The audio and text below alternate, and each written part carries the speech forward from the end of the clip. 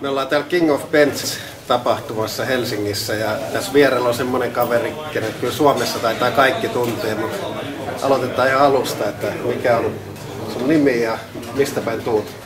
Someroja Juha on nimi ja Salosta, tuota Pohjois-Suomesta.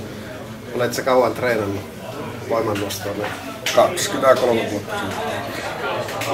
Miten sulla näihin kisoihin valmistautuminen, valmistauduttu jotenkin erikseen vai? Ei näihin oikeastaan, sai uuden ohjelman, sai uuden ohjelman, että sitä ajettu sisään. Ei sen kummemmin. Miten sulla tämä kisa meni niin omasta mielestä?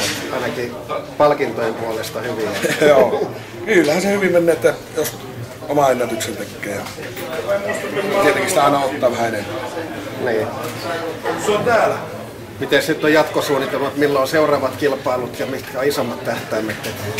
No nyt on seuraava on kesäkuussa huomennosta S ja sitten tietenkin syksyllä puheenjohtajat vähän fitnesseksi. Et nyt eh, jos me katsotaan, että sä ootkin nyt kun vähän joka kilpailussa kuin ensimmäinen ja toinen, niin kuka on niinku tämmöinen kovin haastaja? Täällä ei enää montaa jäljellä, että jos nimeltä mainita vaikka yksi tai kaksi. No joo, se se kovin on. No on siellä tulossa näitä Kallio, Jarmo penkissä ja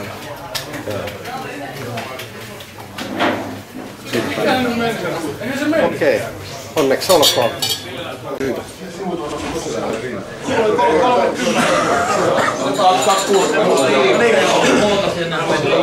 Se voi olla, se aina siihen samaan paikkaan. Se tuli viimeiskin, se oli kaikki siihen tuumaan, ja se siirtää. Oli sappeen. Ja kiuta semmoinen valmis.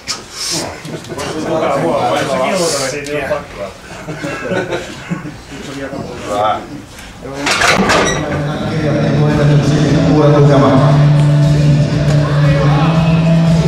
Juha Soppi saako yleisöä mukaan tähän nostoon käsiä yhteen?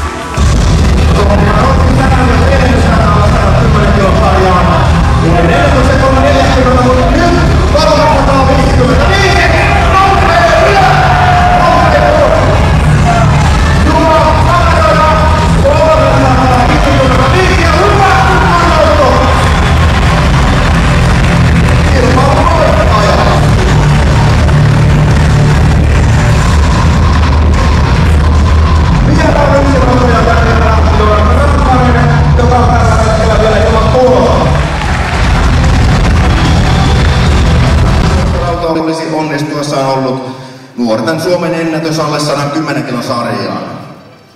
Keskelle. Näin.